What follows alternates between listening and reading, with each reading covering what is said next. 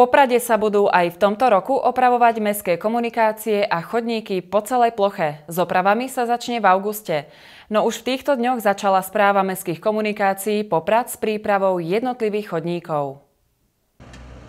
V minulom roku bol rozsah veľkoplošných oprav mestských komunikácií a chodníkov rekordný tomto roku chce samozpráva v nastúpenom trende pokračovať. Chceme opraviť viac ako 10 tisíc m štvorcových chodníkov a viac ako 2 tisíc m štvorcových ciest. Uvidíme po celkových opravách, e, či to stane pri týchto číslach, ale myslím si, že môže to byť ešte aj viac metrov štvorcových. Už v týchto dňoch začala správa mestských komunikácií s prípravou jednotlivých chodníkov. V týchto dňoch už sme začali na chodníkoch s lúpaním e, prevažne liatého asfaltu.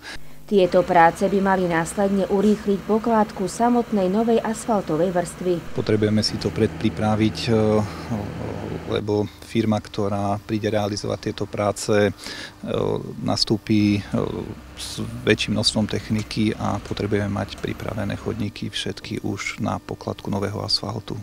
Veľkoplošné opravy začne v auguste realizovať spoločnosť, ktorá bola úspešnou verejnou obstarávaní. Firma, ktorá bude realizovať e, práce, e, bola vysúťažená e, verejným obstarávaním. Ide o firmu Štrabak.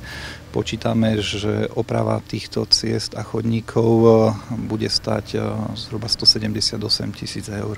Výber chodníkov a komunikácií bol vypracovaný na základe požiadaviek a podnetov občanov. U nás funguje City Monitor a dostávame pripomienky od občanov a podľa týchto sa vyhodnotili najviac, e, by som povedal, poškodené úseky a myslím si, že, že to bolo vybrané už podľa skúsenosti z minulosti správne, takže pokračujeme v tom. Opravy chodníkov sa týkajú v, skoro všetkých lokalít v meste Poprad. Ide o Spisku Sobotu, Veľkú, Západ, Centrum, juhy, e, Matejovce.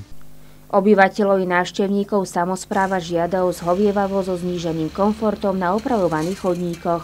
Tá chôdza po týchto chodníkoch, až kým nepríde k spätnému zaasfaltovaniu ich, je troška stiažená, preto by som tých e, občanov a chodcov poprosilo takú trpezlivosť a zhovievavosť voči tomu. E, potrebujeme na to troška času, aby sme to pripravili, hovorím, aby mohli chodiť po nových chodníkov.